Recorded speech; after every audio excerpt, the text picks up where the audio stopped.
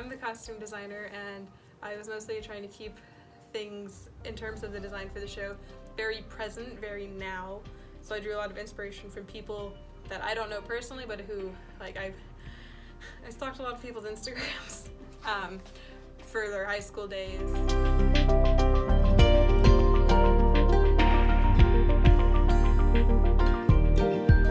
Um, I decided to uh, pursue costumes and costume design because I've always had an interest in trying to make people look the best that they can look.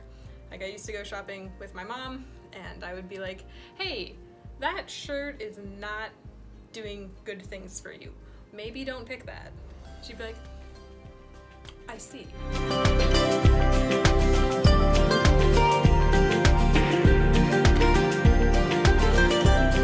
So, uh, a lot of my design choices were based on the fact that almost every character in the play is a reference for myself to someone that I knew or interacted with when I was in high school, since it is a play about high schoolers.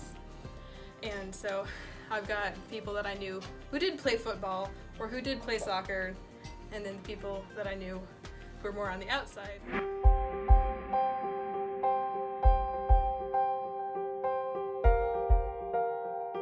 If I could design the costumes for any show, I would choose Hairspray because I love the idea of using an A-line skirt because it's a very flattering skirt and everyone just gets to swing and there's emotion, like lots of motion.